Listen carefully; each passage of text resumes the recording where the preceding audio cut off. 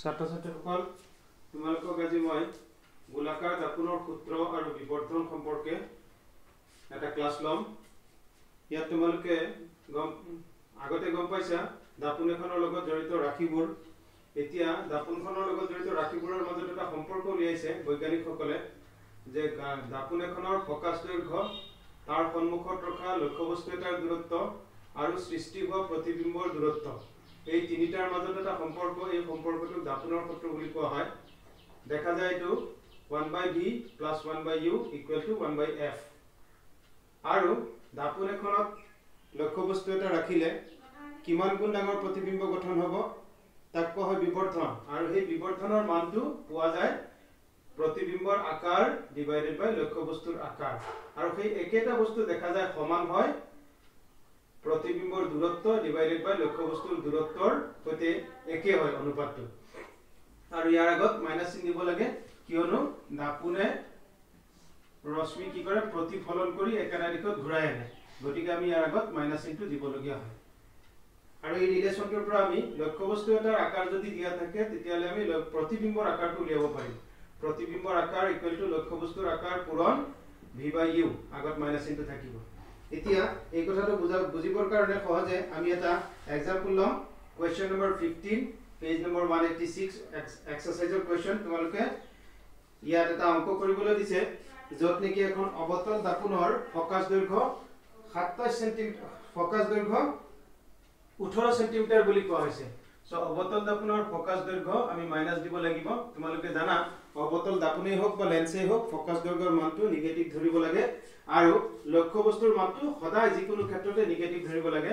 ইয়াত দিয়া আছে লক্ষ্যবস্তুটোৰ দূৰত্ব সাতাইছ চেণ্টিমিটাৰ এতিয়া আমি প্ৰতিবিম্বৰ দূৰত্বটো উলিয়াব লাগে আৰু প্ৰতিবিম্বৰ আকাৰটো উলিয়াব লাগে য'ত নেকি লক্ষ্যবস্তুটোৰ আকাৰ দিয়া আছে সাত চেণ্টিমিটাৰ এবাৰ আমি চেষ্টা কৰি চাওঁ। আমি ফৰ্মুলাটো লিখিম তাৰপিছত ফৰ্মুলাটোৰ পৰা আমি ভিৰ মান যিহেতু প্ৰয়োজন গতিকে ভিটো আমি বাওঁহাতে ৰাখি বাকীখিনি সোঁহাতে লৈ গ'লো।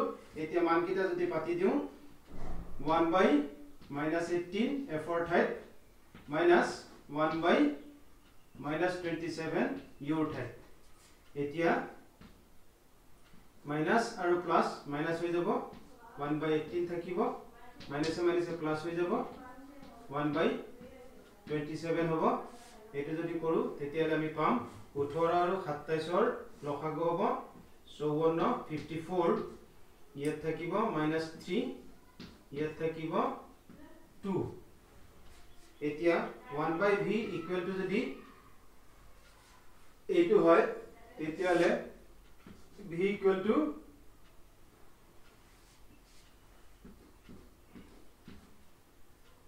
minus one by fifty four গতিকে ভিৰ মানটো কি হ'ব?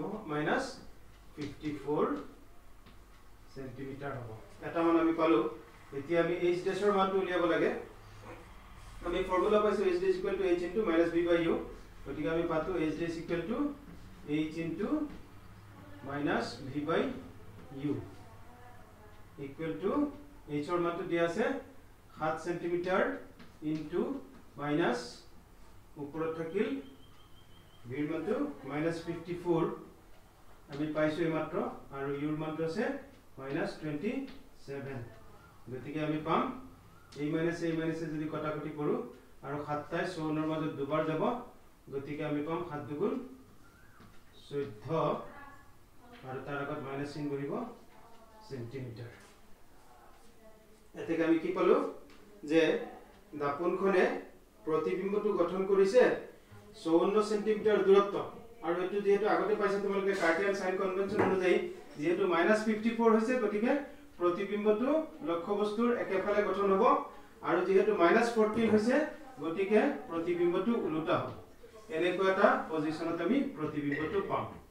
য'ত নেকি প্ৰতিবিম্বটোৰ দূৰত্ব হ'ব চৌৱন্ন চেণ্টিমিটাৰ আৰু প্ৰতিবিম্বটোৰ আকাৰ হ'ব চৈধ্য চেণ্টিমিটাৰ কিন্তু চৈধ্য চেণ্টিমিটাৰ মাইনাছ ওলোৱাৰ অৰ্থটো হৈছে এইটো প্ৰতিবিম্বটো ওলোটা হ'ব। আৰু ওলোটা প্ৰতিবিম্ব সদায় সৎ প্ৰতিবিম্ব হয়। গতিকে ইয়াৰ পৰা আমি লিখিব পাৰিম প্ৰতিবিম্বটো কি হ'ব? সৎ হ'ব আৰু ওলোটা হ'ব। মানবোৰটো আমি পালোৱেই। নেক্সট ক্লাছত আৰু এক্সাম্পল ল'ম থেংক ইউ